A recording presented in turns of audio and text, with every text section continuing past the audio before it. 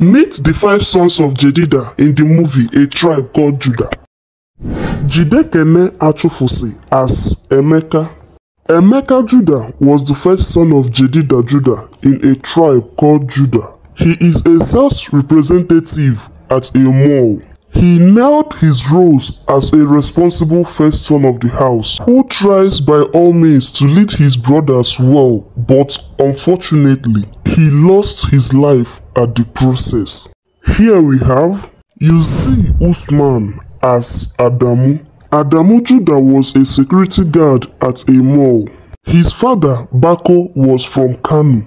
People loved Adamu because he acted as a proper Hausa speaker and was very very good at it.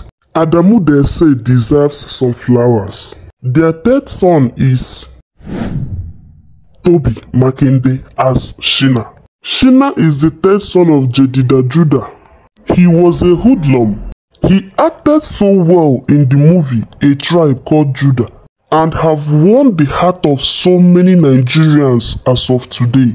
Next is Timini Egbuson as Pere. Pere Judah is the first son of Jedidah in the movie A Tribe Called Judah. Pere Judah was a petty thief, that is, a chronic pickpocket. According to many Nigerians, his acting was very nice. Pere Judah, whose full name is Timini Egbuson, was known for active love movies and ghetto movies, but this time acted differently and acted his roles perfectly well. And lastly, Olumide Oworu as Ejiro the lover boy.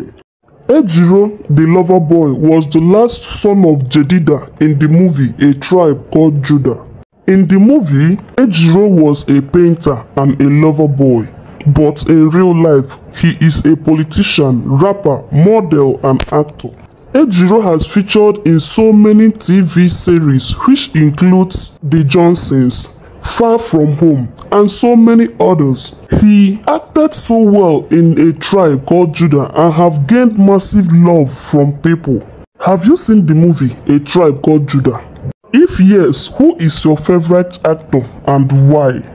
Please let us know in the comment section. Please don't forget to subscribe to my YouTube channel for more premium content. Thank you so much for watching.